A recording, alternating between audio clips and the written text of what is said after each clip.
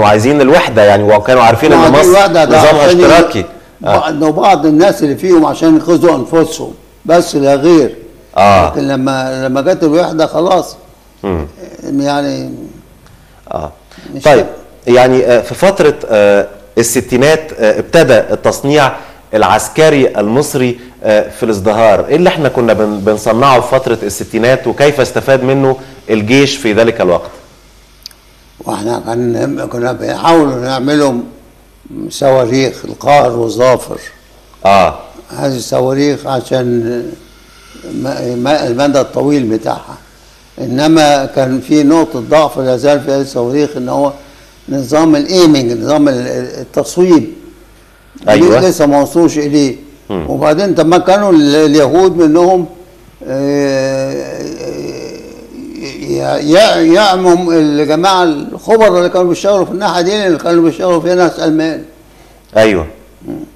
عشان طيب. كده ال- ال- ال- يعني الصاروخين دول ما جابوش ما جابوش نتيجة يعني زي ما إحنا كنا عاوزين. وبعدين بعد طبعا بعد كده خلاص توقف العمل. بعد يعني جمال عبد الناصر توقف العمل في العملية دي.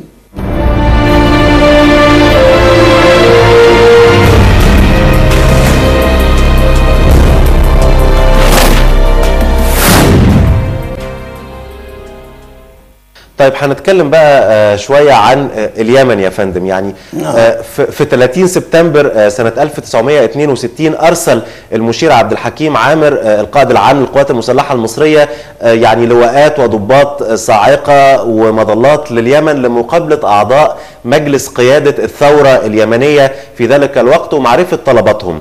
وبعد كده بدأت مصر في إرسال وحدات فرعية من الصاعقة والمظلات للمعاونة في حماية هذه الثورة وتطور الأمر سريعا وذهب المشير آه، عبد الحكيم عامر آه، لليمن ومعاه الفريق أنور آه، القاضي.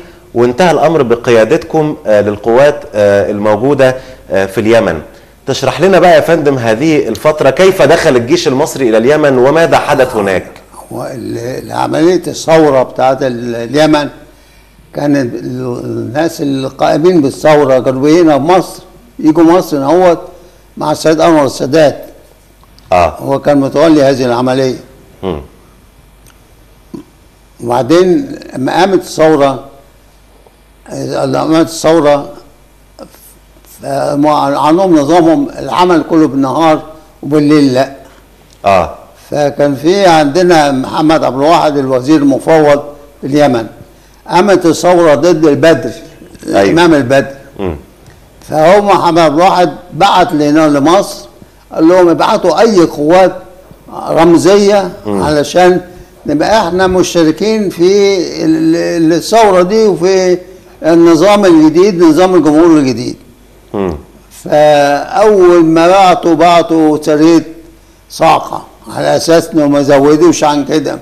ويمكن ال- ال- ال- الله يرحمه كمال الدين حسين آه. من ضمن الناس اللي كانوا معارضين إن نبعت قوات أكتر من صاعقه آه. إنما ابتدت بقى ال- ال- الملكية ويسموهم الملكية بتوع بدر دول. آه. ابتدوا يهاجموا آه، في بعض المناطق في صنعاء وفي الحديدة وفي هذا فابتدى بقى القوات بتاعتنا تدخل بقى واحدة ورا الثانية ورا الثانية لغاية ما بقى عندنا حوالي 55 آه، جندي وضابط وجندي ومعدات كتيرة وأسلحة كتيرة. 55 ألف آه، جندي وضابط آه، ومعدات. آه، آه. وحضرتك كنت قائد هذه القوات؟ لا أنا أنا أنا كنت آه.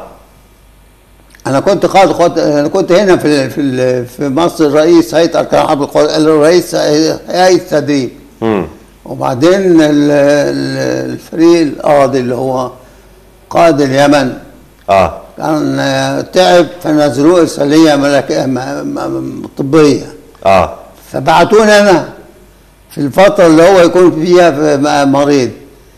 أنا لما لما لما لما رحت اليمن كانت سنة 65 آه. 63 63 آه. آه وع- وقعدت كام سنة يا فندم؟ رحت في اليمن آه، في رام 64 حصل إن جميع الطرق انقطعت على صنعاء اللي إحنا فيها. آه. القياده كلها في صنعاء. طريق الحديديه انقطع. بال- بال- بالجماعة الملكيين. آه. طريق التعس انقطع. طريق الح... الح... يعني طريق ال- السر انقطع. الوحيد اللي كان طريق الحج انقطع. الوحيد اللي كان لازم معانا هو اللي هو طريق بيننا وبين تعس آه. لا بس بيننا وبين صعدة اللي هي دلوقتي صاحبة اللي الزيت فيها. مشاكل آه, آه. طيب آه، يعني حضرتك تشوف لما أنا أنا هقول لك. آه اتفضل. أنا لما لما لما رحت حاجة دي حصلت. فالقائد العام قال أنا جاي لك. آه. أنا بقى ما ما حبيتش يعني أنا عارف إنه هو يعني بعيد قوي عن الناحية دي. فقلت له قلت له لا ما إحنا الموقف تحت سيطرتنا إحنا كل اللي إحنا طالبينه منك حاجتين. ابعت لنا أنتينوف محمله بصفايا جاز آه. وبع- و- و- و- و- وابعت لنا غيار بسرعة. الغيار بينزل في في ال لأن صاع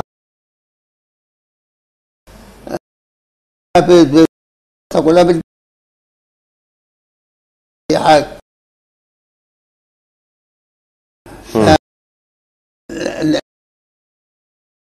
نفتح طريق طريق ورا ورا طريق واحد ورا الثاني باستخدام جميع أنا قلت له أنا هستخدم جميع قواتي في فتح كل طريق لوحده. زي ما انت عاوز أفتحهم كلهم مع بعضيهم. آه. وفعلا أنا فتحت طريق الحديده الأول وبعدين طريق تعز طريق جحانه طريق السير يعني هو طريق الحاجة الوحيد اللي كان مزاجن معانا شوية آه. في في حتة من الحتت يعني نقدر نقول إن الجيش المصري في اليمن كان بيخوض حرب عصابات؟